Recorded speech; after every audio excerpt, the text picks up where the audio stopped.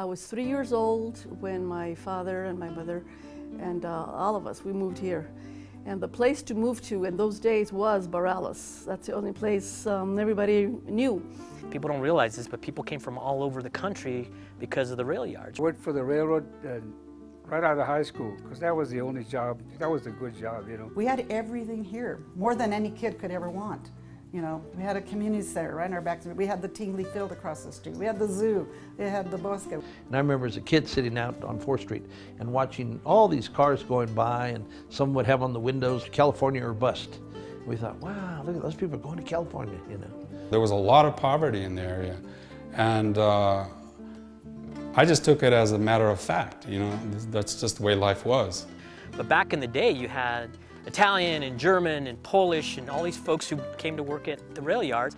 Well, of course, um, uh, when, the when, when, uh, when that closed, it created a huge, a huge economic vacuum. When we opened our business here in 78, I would say that 75% of the businesses were gone. Barelas changed. It, it lost its sense of, um, the, the, the sense of community was, was starting to be chipped away. And throughout all of those years and all those developments, is there's this resiliency in the people here and people saying like, we're not gonna just abandon it. What really appeals to me is, is the history, the soul, the heart of the people.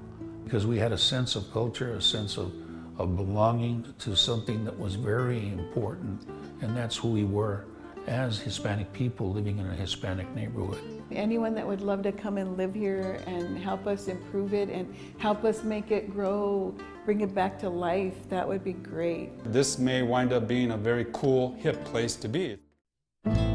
Smiles were in the air, and so was the fragrance of roasting chile verde and hot tortillas, supper for the hungry workers. The air was heavy with the damp smell of just watered gardens, dirty with the bad smell of sewage that drifted up from the sewage plant in South Barelas, and acrid with the salty sweat smell of the grimy workers from the railroad yard. The heart of Aztlan, Rudolfo Anaya. Perhaps no Albuquerque neighborhood can match the legacy of Barelas. The unassuming community south of downtown belies its stature as an historic transportation route, job magnet, and repository of Hispanic culture. Author Rudolfo Anaya, U.S. Senator Dennis Chavez, and war hero Pete Padilla called Barelas home, as did beloved curandera Maclovia Zamora, who tended to the sick with her herbs, roots, and powders. Like much of New Mexico, Barelas also bears the marks of economic booms and busts. From the heyday of the Santa Fe Railway shops and Route 66 to failed government policies that contributed to the decline of the neighborhood in the 1960s and 70s and a descent into poverty and crime. Through it all, Bareleños have proved themselves not only proud and resilient, but determined to revitalize the community while preserving its culture and traditions. With the National Hispanic Cultural Center, the rail yards, and the Rio Grande Zoo as cultural touchstones, the neighborhood is poised for a comeback. In 1598, explorer Juan de Oñate first noted the swamplands on either side of the Rio Grande near present-day Barelas as a prime location for travelers to ford the river on the route that would become known as El Camino Real, the Royal Road, from Mexico City to San Juan Pueblo. Originally settled as a private estancia by Pedro Varela, the sparsely populated community was recognized by the Spanish government as an official settlement in 1662. The original boundaries included the river crossing where Bridge Street now spans the Rio Grande. In the 1800s, Barelas grew into a quiet agricultural community, and fields were planted west from what is now I 25 down to the river settlers built adobe houses along the path of the Camino Real, which became known as Barelas Road. The arrival of the railroad in 1880 augured a dramatic change in the community. The track split Barelas down the middle, disrupting the agricultural economy. But the railroad, roundhouse, and repair shops provided hundreds of jobs and spurred the growth of the neighborhood. The Santa Fe Railway shops Albuquerque's largest employer at the time, transformed Barelas from a farming village to a busy blue collar neighborhood. But back in the day, you had Italian and German and Polish and all these folks who came to work at the rail yards and at least spent part of their, their formative years here. So then you have this big blessing of an employment center, like we were talking about whoever, Amazon or Tesla, or whatever. Well, that was our Tesla back then. It was a big employment opportunity, created lots of jobs. By 1900, Barelas had more than 1,200 residents. It received an additional economic boost when 4th Street, which passes through the heart of Barelas, was designated as part of the original Route 66. Even when Route 66 was realigned along Central Avenue in 1937, Barelas still benefited from overflow traffic traversing its busy 4th Street commercial strip. Times were good. Between our house and the, and the, and the ditch, there was hardly anything but just uh, greenery, a meadow. We used to fly the kites there and we'd, uh, we'd go swimming in the ditch, you know, we'd go swimming in the ditch. and I had a, I had a neighbor that had three sons and the name was Tony, Demesio, and Lulu. And she'd get out on the backboard and says, Tony Metcho, Lulu. Tony Metcho, Lulu. It was, it was so fun. Whenever a, a truck would come with, with cantaloupes or watermelons, go down the street, you know, down 4th Street, go down there and, and we'd get couple of the guys with their bikes to go in front of them to slow it down, see? So, so we climb in the back and th throw the food up.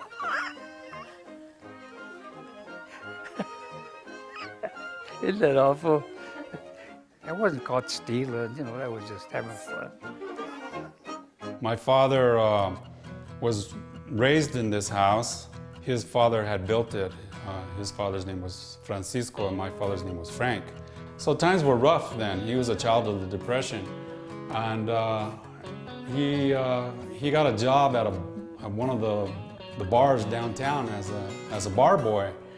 Uh, finally, when uh, he was 16, well, World War II was raging at that time, and uh, he got it into his head that he wanted to join the service. So he and his father signed him up he was only 16, but they lied about his birth date. So he entered the service and he uh, became a submariner. He was a cook in a submarine.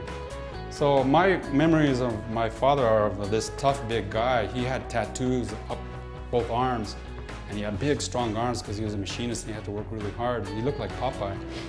And I, I asked him, you know, well, gee, Dad, why'd you get so many tattoos? And he said, well, you know, at the time we thought it didn't really matter because you know, we thought we were all going to die, you know. And the submariners, they had a high fatality rate. While many of the neighborhood's young men went off to serve in World War II, the rail yards kicked into high gear, employing shifts of workers around the clock. The rail yards would remain a major employer for some time. Our life was, uh, was dictated by the whistle that would go off for the change of shifts. So, you know, go off in the morning for, to call the workers to work, and that was our cue to get up and go to school. Then it would go again at lunchtime, and I guess after lunchtime to get them back to work, and then at the end of the day. And that was always kind of one of the things, you better get home before the pito blows. That's what we called, we referred to it. And that meant that's when dad comes home, because we ate our meals together. My family worked for the railroad.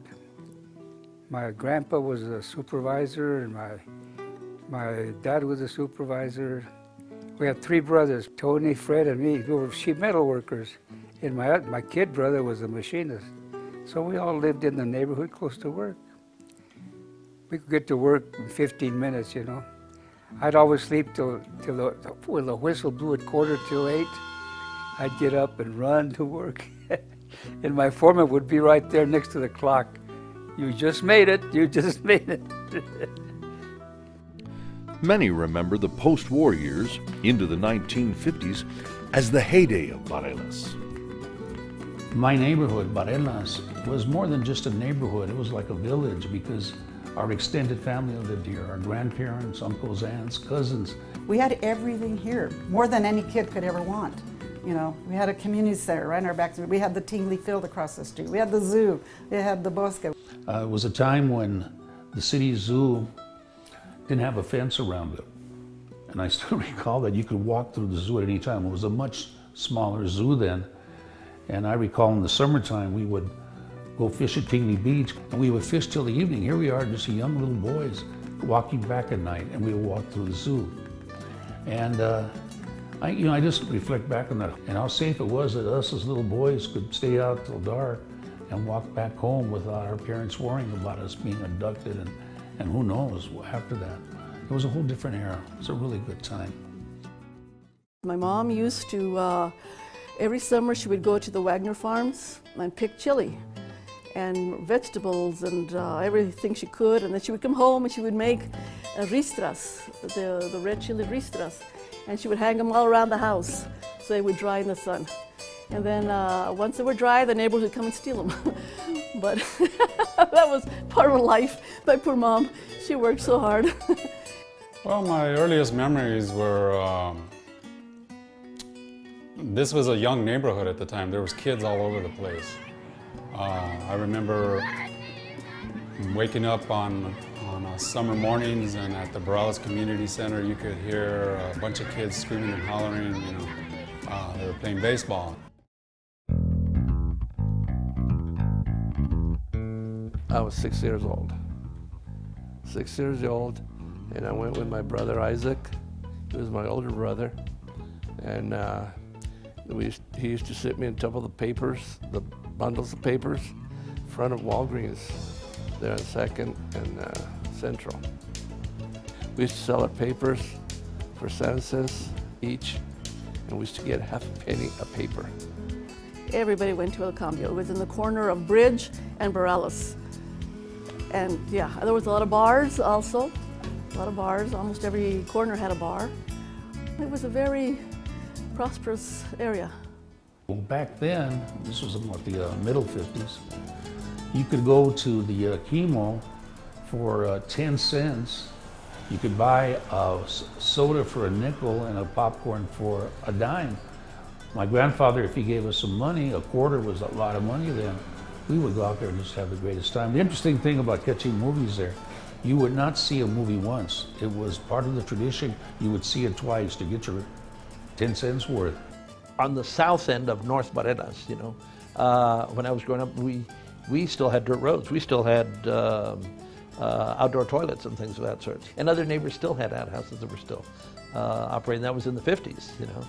And so while the city was at our doorstep and the railroad and you know the rest of the world was just a few blocks away, we still had this. When I was working towards my teaching degree, and uh, we were talking about literacy, and I said, well, you know, when we grew up, we, we learned from the Dick and Jane primers, right?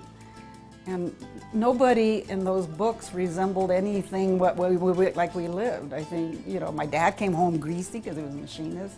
My mom didn't make tortillas with a nice dress and, and jewelry on. And I said the only thing I could identify with was Spot the dog because everybody had a dog. But their memories are tinged with reminders of prejudice. Uh, there was a time when uh, Barelas, if you said you were from Barelas, people would say, you live there oh, you live in that part of town, you know, which I guess was meant to be like you live on the wrong side of the tracks or something. And so early on, you start getting that sense of, well, is this, you know, not good? There was uh, discrimination at the Santa Fe Railroad, and, it, and, and, that was in the era that my dad was a young man working there. My dad was very fair uh, in his complexion. He had red hair and blue eyes. But my dad was about as Chicano as you could be. Anyway, they offered him a position as a foreman, one of the uh, supervisors there, because they saw him. And then they came, they asked him to come in and they interviewed him. Well, my dad had a very distinct Spanish accent. The job was not given to him after that. Because I was Spanish in the railroad, I could never be foreman. So the, the guys, the Spanish guys told me, he says, you know, you're just, you just graduated, you're you, will never be foreman. He said, get out of here. And this uh, guy, Shelby, had a, he was a machinist, and, I, and he was just standing by his machine, you know.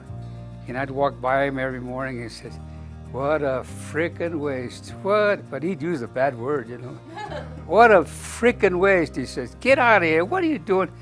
I said, what's wrong with you? He said, God, Eloy, I just barely graduated. You were on the honor roll all through high school. What are you doing here? Get out of here. So, so when I got on the GI Bill, I, I started college and took through a pre-dental. And when I went to dental school at Washington University in St. Louis. I was dating this girl from the Heights.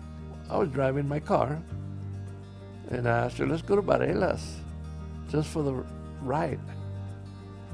And she meant, and, and when I said that, she looked at me and goes, no. I said, why not? They kill people in Barelas.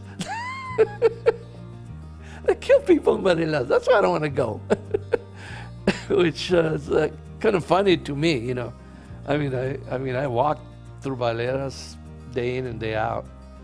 One o'clock, two o'clock in the morning, I was walking home from downtown to Barelas. And uh, during the day, of course, you know, back and forth. And I never had any, any real problems like that. And one time I was at a party and uh, people were talking about the area of Barelas and how they were afraid to go over there. And I remember asking them why. And one lady said, oh, I hear that uh, the girls over there carry knives in their hair. And I'm like, really? You're kidding me? I said, well, look at me. I says, do I carry knives in my hair? What do you think about me? And she said, oh, no, you're okay, you're very nice. Why? Because I said, I am from Barelas. I was raised there. That was my place. This is, and it's not like that at all. There was, it was this rep that everything uh, that it was here was bad and that was wrong. It was a bad reputation. It was a lie. People here were decent people. People here were good people. People here were salt of the earth, as my father and mother were, as many of the parents here were. I was always very proud to say, you know, that I live in Barelas. As Albuquerque entered the 1960s, a series of events conspired to depress the economy and plunge the working class neighborhood into poverty. The construction of a new interstate north of Central was the first sign of trouble. We used to go fishing uh, on the irrigation ditches in the river just north of Central. It's by the, the botanical garden. At that time I was 13. And we went walking and all of a sudden we saw these huge pilasters going up, up from the river. And we said, what the heck is that? Well, it was the beginning of the interstate. When I was growing up, a lot of things were being torn down here in Albuquerque. The interstate had come through, uh, downtown started to die. Uh, the church that was the center of our uh, neighborhood, Sacred Heart Church, was torn down. Uh, Tingley Field was torn down in the late 60s. Uh, the Alvarado Hotel downtown was torn down. So when I was coming through, things were changing and there, there was like a decay beginning in this neighborhood. Shopping malls, built in the 1960s in the Northeast Heights, further eroded downtown's commercial base. When the Santa Fe Railway shops began downsizing, the move fractured the neighborhood's economic backbone. Operations remained open for some time, but the number of people employed at the rail yards plummeted from 1,500 to 100.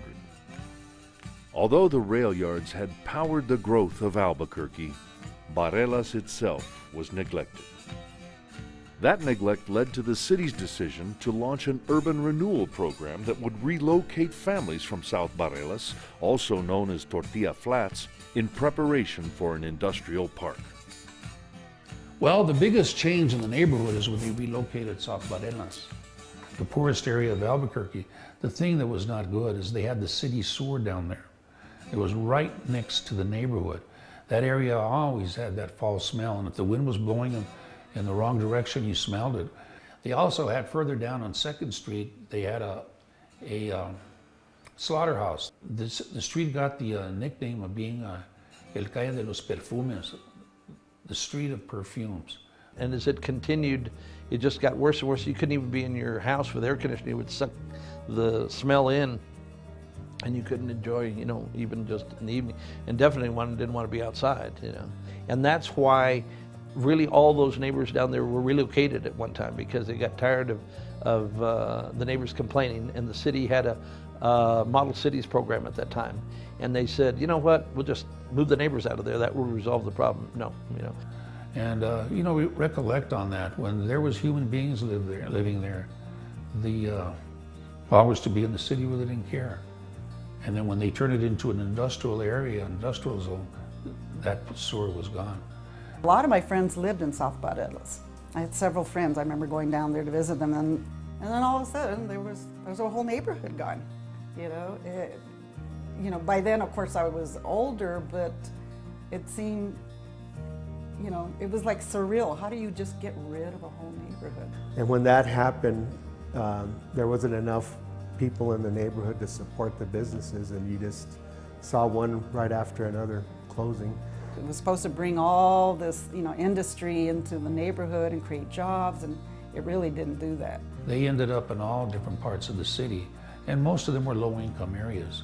So that group of people that knew each other all their lives no longer had their neighbors, no longer had their friends that, that uh, were so much a part of their life, a good part of their life. It was gone.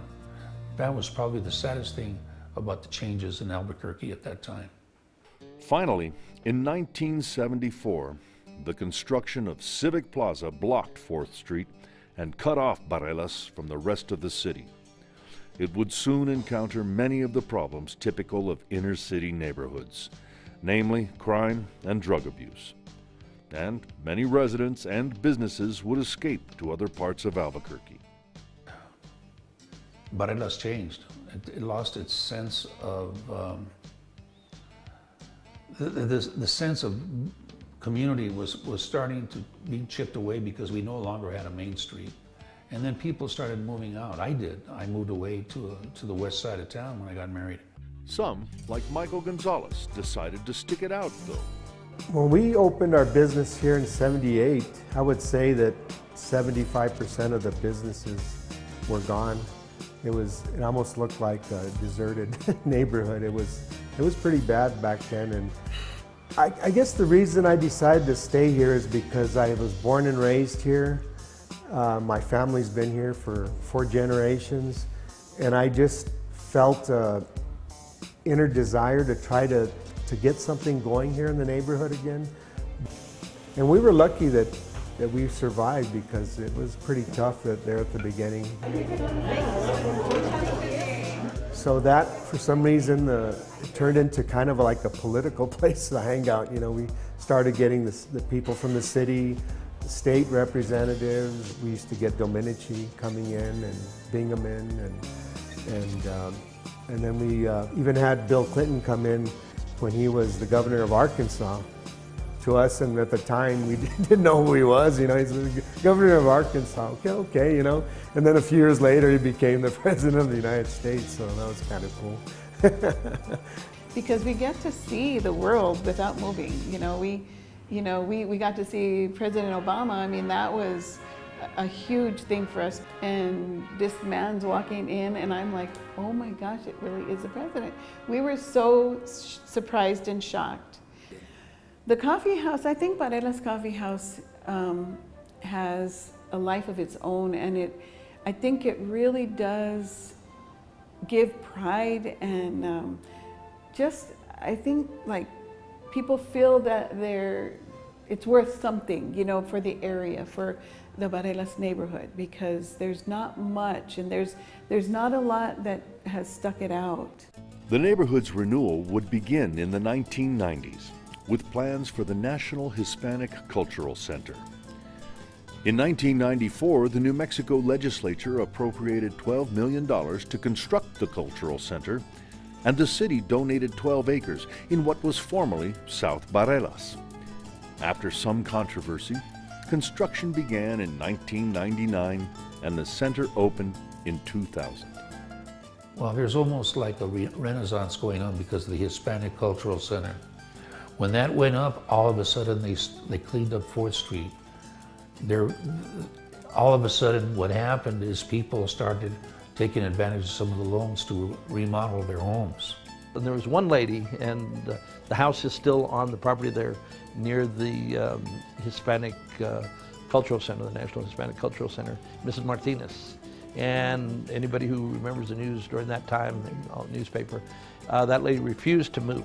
So many of us in, uh, in older Hispanic communities, and this is with, uh, with Native Americans, you know, probably the most important um, part of your life is where you're born and the actual ground, I mean, understanding that, you know. So in Ms. Martinez's case, that would have been, you know, ripping her heart out. And I remember talking to her daughter, because I knew the family well, the neighborhood there, and I, I remember telling her uh, that I had heard people say that, oh, now that her mother had passed away, now she would, you know, uh, decide to move. And I remember asking her about that. Uh, and her daughter's name was Josie. And she said, oh, no, no, no. she said, my mother would come back from her grave. like the pachucos, the curanderas, the fiestas de las posadas, Adela Martinez would remain an enduring symbol of the culture of Barelas. The opening of the Albuquerque Hispano Chamber of Commerce and Barelas Job Opportunity Center in 2001 also furthered economic development in the neighborhood. Throughout this period of rapid change, residents would take an active role in determining the future of the area, even as gentrification began to impinge.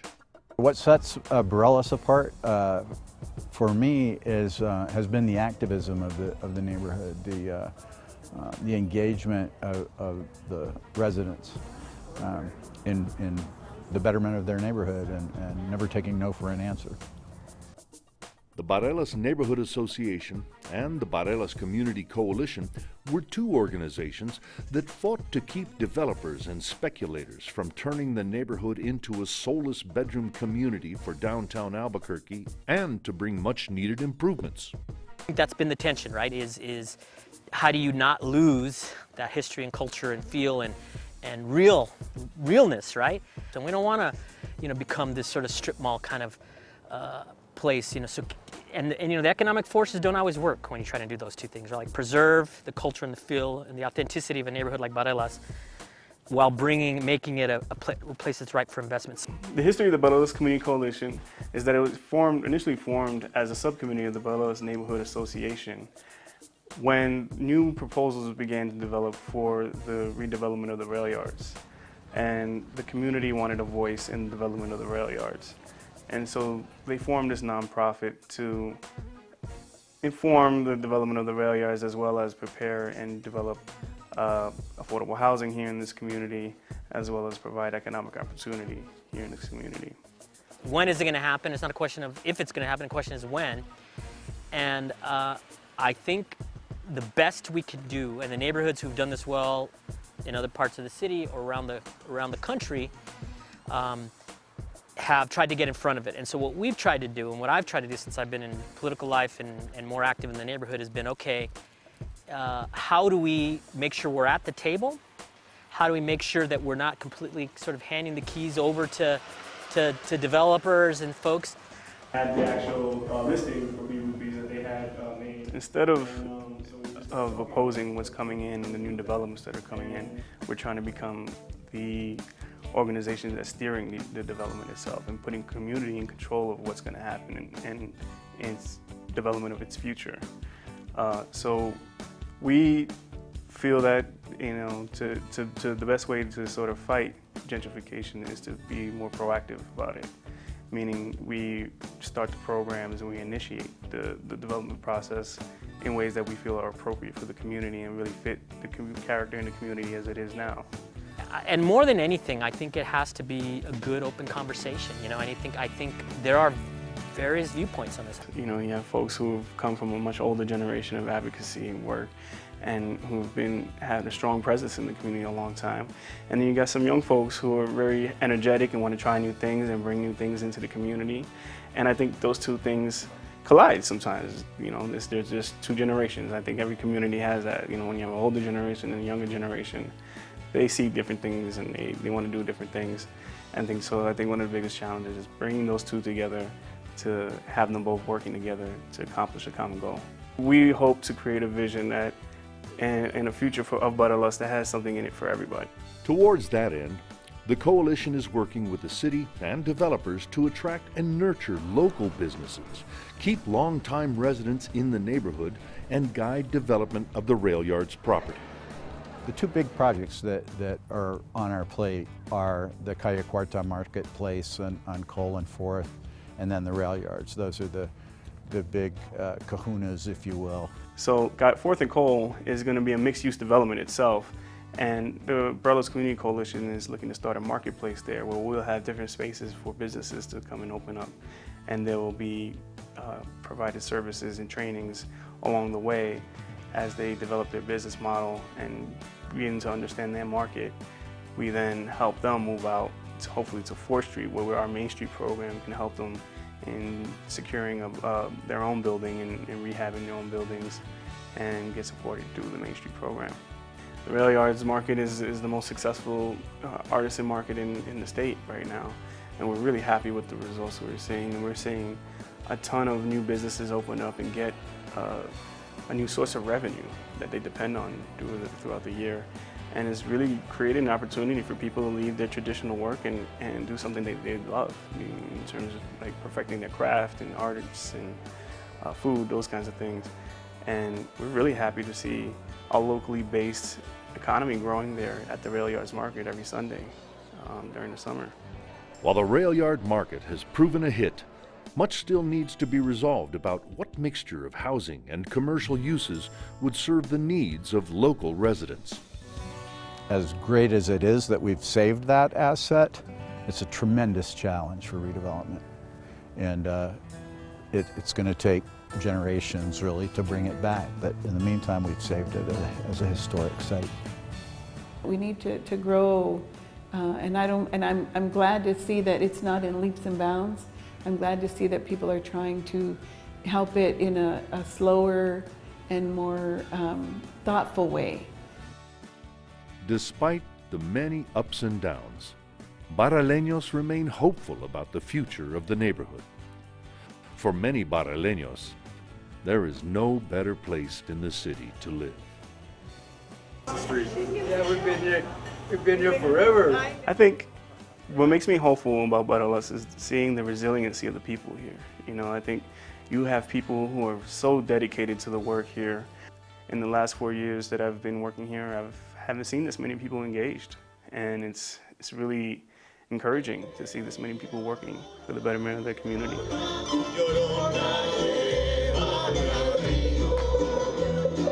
I have always loved Barelas. I grew up here, I, I still feel comfortable here, and I wouldn't mind living here in Barelas again because um, I feel happy. It is a work in progress, and we would, I mean, anyone that would love to come and live here and help us improve it and help us make it grow, bring it back to life, that would be great. I hope that people do move in. I hope they revitalize the neighborhood and I hope they retain its flavor and, and retain its history. I think at some time in the, in the near future, this may wind up being a very cool, hip place to be. The ethnic composition of the neighborhood is changing. We have Anglos moving in now. And uh, these people are coming here because they sense that sense of history and that this place is more than just a home. It's a community, a community that has a long history with many beautiful things in the culture. I think that the potential is enormous um, and it's exciting, you know, it's exciting to live in this neighborhood right now.